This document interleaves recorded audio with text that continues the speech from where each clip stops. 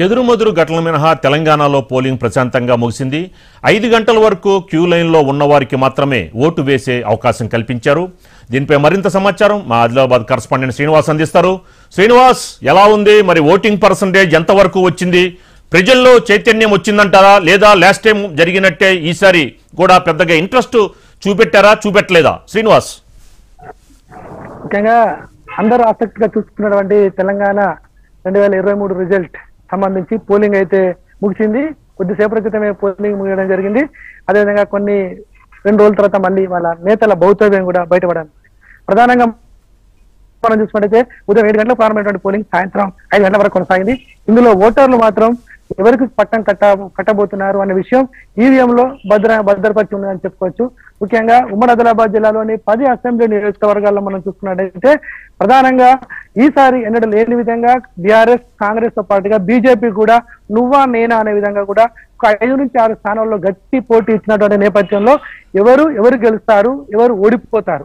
BJP ఎవరిని గెలిపిస్తుంది ఎవరిని ఓడగొడుతుంది? మరి బీజేపీ ఏమైనా గెలుస్తుందా? అనేటువంటి మూడు ప్రశ్నలు ఉమ్మడి ఆదిలాబాద్ జిల్లాలో ఉన్నటువంటి ఓటర్లను ప్రస్తుతానికి ఒక ప్రశ్నార్థకంలో ఉంచినటువంటి పరిస్థితి కనిపిస్తుంది. ఒకసారి మనం చూసినట్టయితే ఉమ్మడి ఆదిలాబాద్ జిల్లా వ్యాప్తంగా పోలింగ్ సార్లు చూసినట్టయితే ప్రశాంతమైన వాతావరణంలో శాంతియుతంగా జరిగిందని చెప్పుకోవచ్చు. కొన్ని చోట్ల మాత్రం చెదురుమదురు సంఘటనలు చోటు చేసుకోవడం జరిగింది. స్వల్ప ఘర్షణలు దారి ఇచ్చినప్పుడు కూడా పోలీసులు ఆ యొక్క ఘర్షణలను నివారించినటువంటి పరిస్థితి కనిపిస్తుంది. మరికొన్ని చోట్ల మాత్రం ఈవీఎంలు మొరాయించినప్పటికీ కూడా వెంటనే వాటిని తాత్కాలికంగా వెంటనే ఒక half an hour one hour వ్యవధిలోనే మళ్ళీ ఈవీఎంలను కూడా మళ్ళీ పునరుద్ధరించడంతో ఎలాంటి ఇబ్బందులు అయితే తలెత్తలేదు. కొన్ని ప్రాంతాల్లో సరి అయిన వసతులు కల్పించలేదు అని చెప్పేసి అయితే ఓటర్లు ఆందోళన చేసినటువంటి పరిస్థితి కనిపిస్తుంది. కొంతమంది ఓటర్ లిస్ట్లో తమ పేరు లేదు అటువంటి కొంచెం విమర్శలు రావడం జరిగింది. ఇవి మినాయిస్తే ఉమ్మడి ఆదిలాబాద్ జిల్లా వ్యాప్తంగా ఇలాంటి సంఘటనలు చోటు చేసుకోలేదు కానీ బీఆర్ఎస్ సంబంధించినటువంటి ఇద్దరు అభ్యర్థులు చిన్నయ్య కావచ్చు అదేవిధంగా ఐక్యరెడ్డి కావచ్చు పార్టీ కండువాలతోటి పోలింగ్ బూత్లకు వచ్చారని చెప్పేసి కూడా ప్రత్యర్థులు అయితే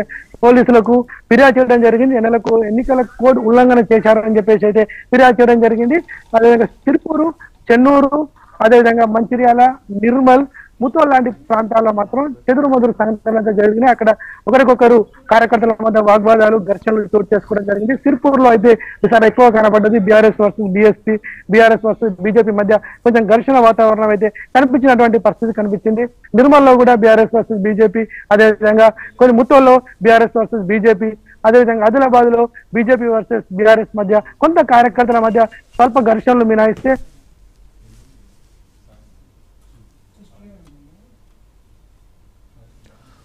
శ్రీనివాస్ మీ ఆడియో మ్యూట్లో చూడండి. ప్రధాన పార్టీలకు సంబంధించి మనం చూసినట్టయితే ఈ ఎన్నడూ లేని విధంగా బీజేపీ కూడా ఈసారి గట్టి పోటీ ఇచ్చినటువంటి నేపథ్యంలో మరి ఎవరు గెలవబోతున్నారు అన్నది మాత్రం సస్పెన్స్ గానే చూడాల్సి ఉంటుంది. ముఖ్యంగా ఒకసారిగా మనం ఉమ్మడి ఆదిలాబాద్ జిల్లాలోని పది అసెంబ్లీ నియోజకవర్గాల్లో ఒకసారి చూసినట్టయితే ఎవరికి ఎంత మేరకు మూడు గంటల వరకు మాత్రం అధికారికంగా ఎన్నికల సంఘం ఇచ్చినటువంటి డేటా ప్రకారం చూసినట్టయితే ఆదిలాబాద్ జిల్లాలో చూసుకున్నట్టయితే అరవై రెండు పాయింట్ మూడు ఒకటి శాతం పోలింగ్ జరగడం జరిగింది. అదే విధంగా మనం చూసినట్టయితే ప్రధానంగా ఆ బోతులో చూసినట్టయితే బోతులో అరవై ఒకటి పాయింట్ నలభై నాలుగు శాతం పో- పోలు కావడం జరిగింది. అంతేకాకుండా నిర్మల్లో మనం చూసినట్టయితే అరవై పాయింట్ మూడు ఎనిమిది నిర్మల్ జిల్లాలో అరవై పాయింట్ మూడు ఎనిమిది శాతం పోలింగ్ జరిగినటువంటి పరిస్థితి కనిపించింది. మంచిర్యాలలో అరవై పాయింట్ జీరో ఒకటి శాతం పోలు కావడం జరిగింది. ఆసిఫాబాద్లో అరవై శాతం పోలు కావడం జరిగింది. ఓవరాల్గా ఆదిలాబాద్లో ఎక్కువ శాతం పోలు ఇప్పుడు మనకు అందినటువంటి ప్రకారం ఆ, మూడు గంటల వరకు అందినటువంటి సమాచారం మేరకు అరవై నాలుగు శాతం ఆదిలాబాద్లో పోలు అయితే ప్రధానంగా సిర్పూర్లో కేవలం యాభై ఎనిమిది శాతం మాత్రమే పోలైనటువంటి పరిస్థితి కనిపించింది. అంతేకాకుండా కానపూర్లో యాభై తొమ్మిది శాతమే పోలైనటువంటి పరిస్థితి కనిపించింది. అయితే మంచిర్యాల ఆసిఫాబాద్ జిల్లాకు సంబంధించి ఐదు అసెంబ్లీ నియోజకవర్గాల్లో ప్రధానంగా నాలుగు గంటలకే పోలింగ్ ముగిసినటువంటి సందర్భంలో అక్కడ మావోయిస్టు ప్రభావిత ప్రాంతాలు ఎక్కువగా ఉన్నటువంటి నేపథ్యంలో ఆ ఐదు అసెంబ్లీ నియోజకవర్గాలకు నాలుగు గంటలకే పోలింగ్ ముగిసింది. అక్కడ ఎవరైతే ఆ పోలింగ్ బూత్లలో నాలుగు గంటల వరకు అయితే ఉంటారో వాళ్ళకు కూడా ఓటు వేసుకునేటువంటి అవకాశాన్ని ఇచ్చారు. కొత్త ఓటర్ ఎవరైనా కానీ నాలుగు గంటలకు పోలింగ్ కేంద్రాలకు రాకుండా అయితే ఆపడం జరిగింది.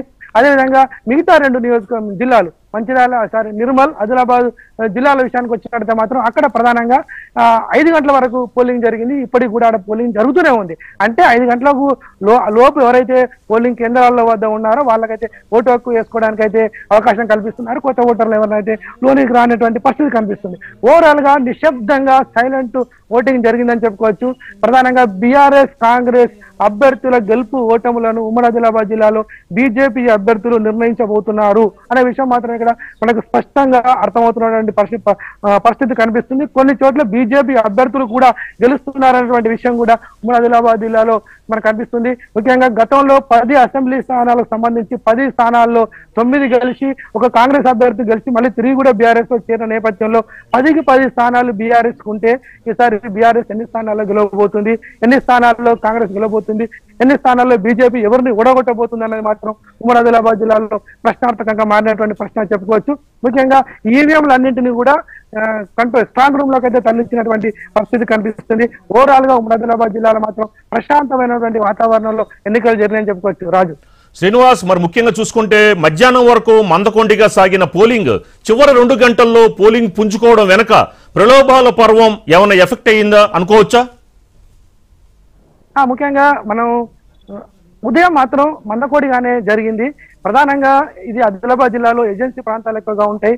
ఉదయం పూట పనులకు వెళ్ళినటువంటి వ్యక్తులు ఎవరు కూడా పోలింగ్ బూతులకు రావడానికి రాలేదు. వాళ్ళు ఉదయం వెళ్ళి మధ్యాహ్నం సమయంలో తమ పొలం పనులు చేసుకుని వచ్చి పోలింగ్ బూతులకు వచ్చినట్టుగా మనకు తెలుస్తుంది. ముఖ్యంగా నాలుగు గంటల వరకు పోలింగ్ ఉంటుంది కాబట్టి వాళ్ళు మధ్యాహ్నం సమయంలోనే పోలింగ్ రావడం జరిగింది. ఆ నేపథ్యంలో ఈవినింగ్ టైం ఆఫ్టర్ లంచ్ తర్వాత పోలింగ్ ఎక్కువ జరిగే అవకాశం మనకు ఎప్పటికీ తరచూ జరుగుతుంది. ఇప్పుడు కూడా ఉమ్మరాదిలాబాద్ జిల్లాలో అదే జరిగిందని శ్రీనివాస్ మీరు అలాగే హోల్డ్లో ఉండండి. ఇప్పుడు ఉప్పరపల్లి నుంచి శ్రీనివాస్ అందిస్తారు. శ్రీనివాస్ ఎలా ఉంది? అక్కడ పోలింగ్ పర్సంటేజ్ ఎలా ఉంది? ప్రజల నుంచి స్పందన ఎలా ఉంది? ఎలక్షన్ కమిషన్ తీసుకున్న యొక్క యొక్క అక్కడ సేఫ్టీ ప్రికాషన్స్ ఎలా ఉన్నాయి? శ్రీనివాస్. మరి అదే కదా.